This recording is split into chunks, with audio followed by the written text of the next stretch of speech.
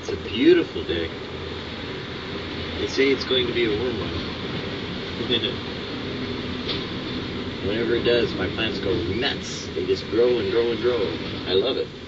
I just think it's exciting to see so much growth. We last year out here on the porch, it was so hot that everything wilted and died. so then we got an umbrella.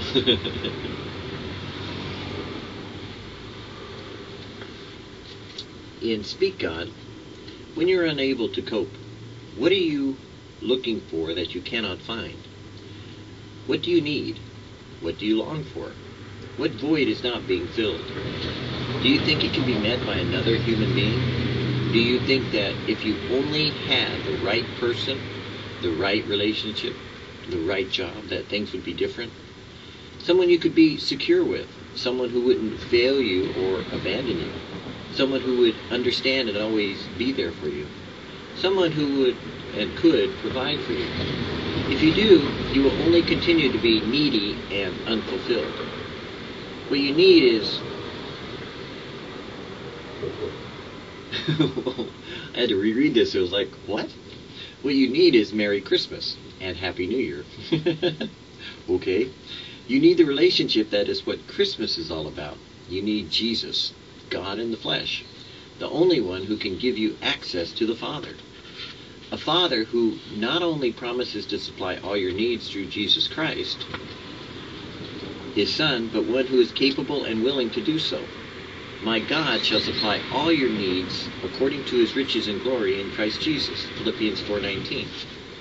But what does the Happy New Year come in, you might ask? And why do I follow Merry Christmas with Happy New Year? yeah, really, why do you? I haven't a clue yet. I'm reading with you.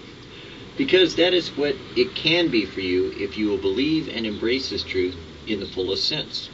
Your year can and will be different. Your outlook on life can and will be radically transformed.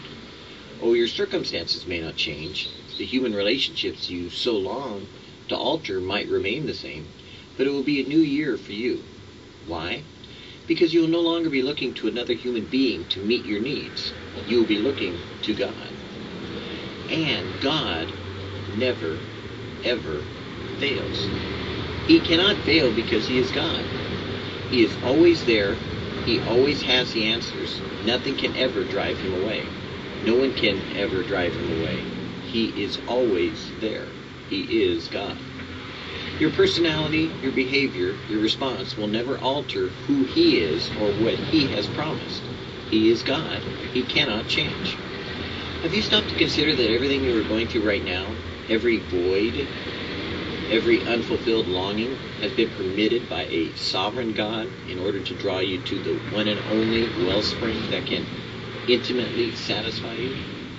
It is to draw you to God's Christmas tree, the cross, where he hung his gift, his only begotten Son, for you. The tree where God not only displays and proves his love and commitment to you, but where you find life in death. Life through your death to all else and everyone else but him is found at the cross. If you're a child of God and have been miserable, dissatisfied, or unable to cope, it is because you have left the cross. Life is there at the cross nowhere else. Peace is there at the cross, nowhere else. Purpose is there at the cross, where you find your reason for living. If you've been miserable, dissatisfied, and unable to cope, it's because you have walked away in disbelief. If you ever want your deepest needs met, you can't walk away. If you ever want to fill that void within, you can't walk away. He who loves his life loses it, and he who hates his life in this world will keep it to life eternal. if anyone serves me, he must follow me, and where I am, there my servant will be also. If anyone serves me, the Father will honor him.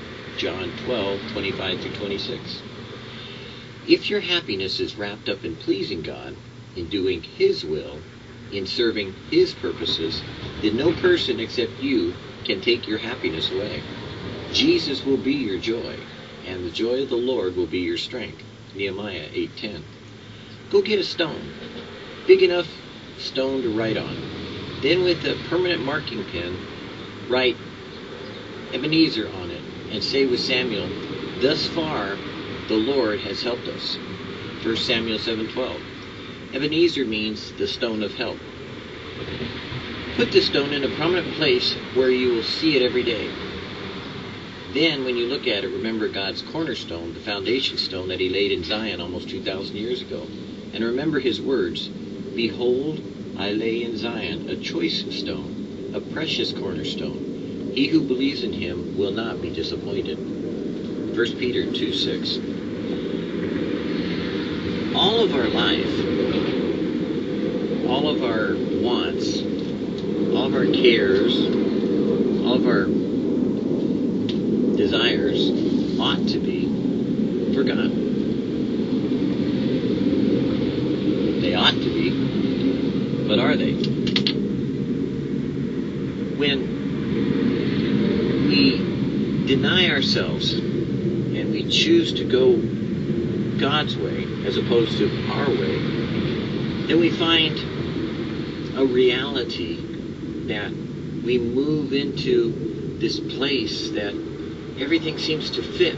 It's like, wow, you know, my day just seems to go a lot easier. So why am I going the hard way when I could go the easy way?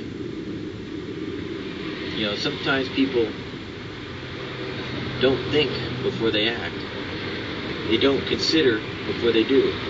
They don't use a certain amount of common sense to sit down and plan out their day and say, you know, maybe God has something for me today. And the reality is, every day God has something for you because if you choose to serve, seek, be a part of, and walk with God, He said and promised that He would do certain things, act, and become for you all of those things that you, you need, that will protect you, that will give you peace, that will give you joy, that will give you satisfaction, that will give you happiness, that will give you all that you've ever wanted in life. So, why are we reaching for the brass ring and running around like hamsters in a cage? When the reality is, maybe you could get out of the rat race and stop for a minute and ask God what He would have you to do. Wouldn't you rather serve God than serve yourself?